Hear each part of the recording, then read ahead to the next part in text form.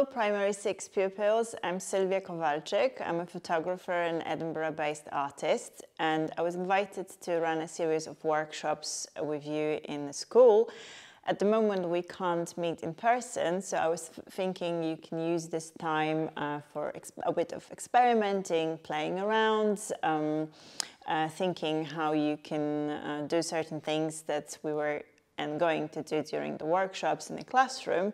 So I hope you're all healthy and safe and um, let's see how we can take it as an inspiration for when we can meet in person in a school. So the workshops are inspired by an art movement called Surrealism and uh, the, the movement was started Oops. in 1924 by a group of art friends. But the, um, the main thing is that the artist always worked with something that is beyond reality. They were kind of creating things, new things from scratch, um, using everyday objects to give them completely new meaning.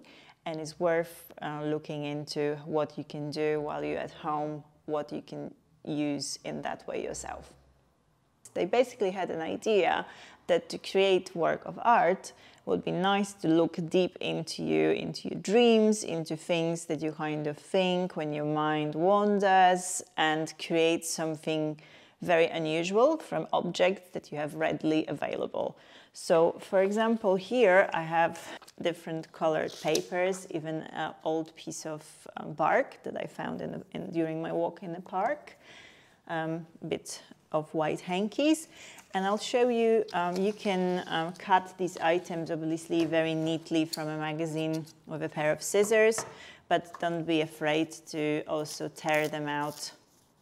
So surrealists used various techniques. Uh, let's start with my favorite one, which is the collage, where, well, where from various elements you can create something completely new, uh, a new entity that kind of gives you some food for thought. You can add various elements and if all these elements are kind of joined together.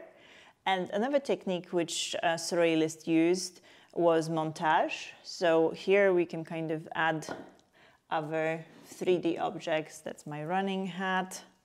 Let's use this as a pop of color. For example, like this You can, instead of lips, let's say we can create a pair of mustache. Let your imagination run wild. Oh no, not the mustache, maybe birds. Or maybe mustache. Uh, let your imagination run wild and see what we can create together.